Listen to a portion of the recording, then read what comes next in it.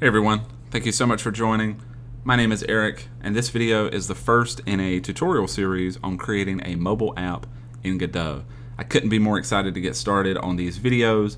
I hope they help show you how simple it can be to get started in the world of app development, especially using an engine like Godot. I think you'll learn a lot along the way. What I wanted to do with this first video is just show you what the end result or the goal of this app kind of looks like. But take it with a grain of salt because we're going to be adding a lot of improvements and making some changes along the way.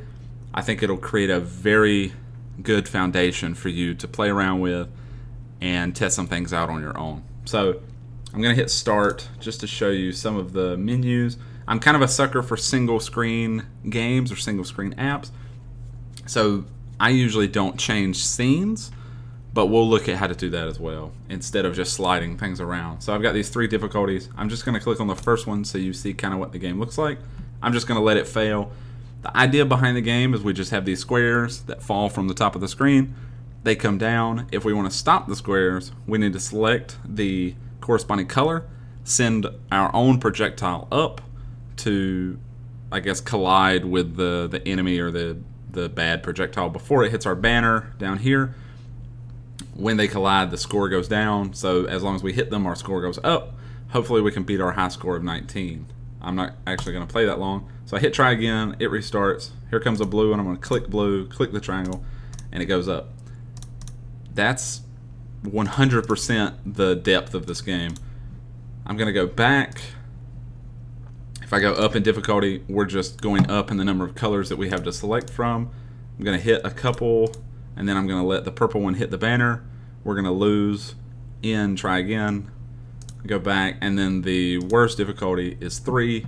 This is this is actually not the easiest thing in the world to do with a mouse. I'll hit a couple. See, I thought I picked the wrong color. Purple, and you see, I'm actually going to try to beat the high score on this one. This is a lot easier when you export it to an APK. Okay, well, I missed. But we did increase our high score, so I think it was on, I don't remember what it was on. I think it was on 6, and now it's on 11.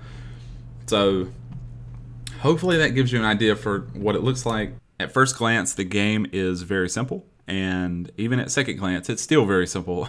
it never, and at no glance does it ever really become complicated, but I think it's going to give us a great project to learn a lot of core game development concepts, even if you're a beginner or intermediate or advanced. I think there's something for you to learn, especially since there's a lot of room for improvement, not just by adding things to the game, but improving things that are already there. I'm going to try to put a list of the things that I think you'll learn from the series in the description. And then hopefully as I build out videos in the future, I'll come back and put in, you know, some timestamps and things so people can find what they're looking for. I am going to put a base project in the description when I have it ready for people to download the the images that I'm using, the, the sprites. I don't want this tutorial to kind of focus around coloring in squares and things for projectiles. I don't think that'll be the best use of anyone's time. We can take a look at at least one just in case no one's ever messed with that. But we'll talk about that in the future. I hope this has been exciting as the beginning of this tutorial series. I hope the future videos are helpful. For now, that's all I got. Thank you so much for watching.